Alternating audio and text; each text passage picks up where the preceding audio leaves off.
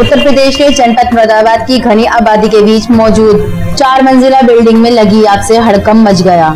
चारों तरफ़ धुएँ का गुब्बार छा गया। दरअसल आग बिल्डिंग के बेसमेंट में लगी हुई थी। इस बिल्डिंग में कई सरकारी दफ्तर भी चलते हैं और बिल्डिंग तीसरी मंजिल पर सहायक registrar, firm society and chits का भी कार्यालय मौजूद है, जिसमें बहुत सारी ज़रूरी फाइलें हैं। बिल्डिंग के बेसमेंट में चल रही ब्रास की फर्म के रोशनदानों से निकलते धुएँ से हड़कम मच गया।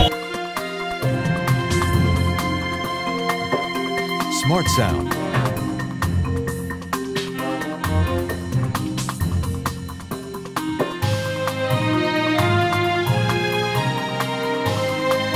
और आसपास के लोगों की भीड़ जुट गई। लोगों ने फायर ब्रिगेड को सूचना दी।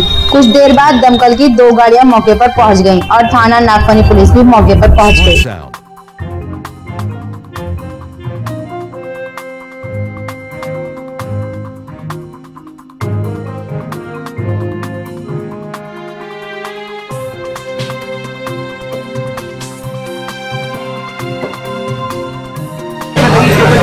आग की जानकारी कोई नहीं है। किसी ने वीडियो वगैरह बना के डाल दी, उसमें आग लगी आग का कोई जाने वाला नुकसान कुछ नहीं है।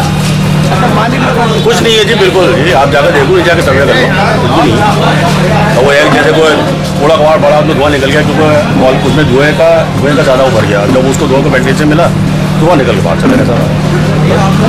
कैसे आग लगी है? नीचे कुछ कबाड़ा पड़ा हुआ था और दो तीन छोटी छोटी मशीनें लगा लगी उसमें पॉलिश का काम चल रहा था। और सामने से ही बोर्ड लगा हुआ था। बोर्ड में शॉर्ट सर्किट हुआ है। प्रथम दृष्टिया ऐसा लगता है कि शॉर्ट सर्किट से ही वो चिंगारी नीचे गिरी होंगी और उसी से कबाड़े ने पकड़ी और उसी से आग। लगी किस चीज़ की फैक्ट्री है ये? फैक्ट्री नहीं है दो मशीनें मुझे दिखाई पड़ रही हैं। दो मशीनें पॉलिश की जो पॉलिश होती है बर्तन पर वो वो लगी दिखाई पड़ रही हैं। अच्छा इसके ऊपर सरकारी ऑफ़िस भी है नहीं एनओसी तो यहाँ के लिए नहीं होती है ना यहाँ के लिए अलाव है। सर इसमें नुकसान हैं। तो मुझे कुछ नहीं दिख रहा। नुकसान तो नीचे कबाड़ा सा रखा हुआ है मुझे लग रहा है कि ज़्यादा नुकसान।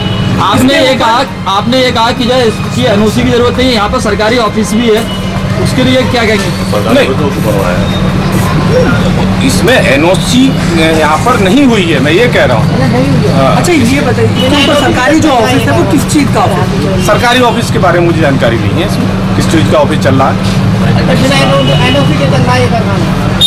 भैया कारखाना नहीं है यहाँ पर। तो छोटी सी छोटी सी मशीन लगी हुई है जिसमें पॉलिस का ये काम कर रहे थे। प्रथम दृष्टया मुझे यही देखने में आया कि शॉर्ट सर्किट हुआ है और उससे कबाड़े में गिरा और कबाड़े से आग लग गई। जांच- आपकी तरफ़ से क्या कार्रवाई जाँच जाँच जाँच की जा रही है और जो भी सब सामने आएगा आपको बता दिया जाएगा। धन्यवाद। Thank you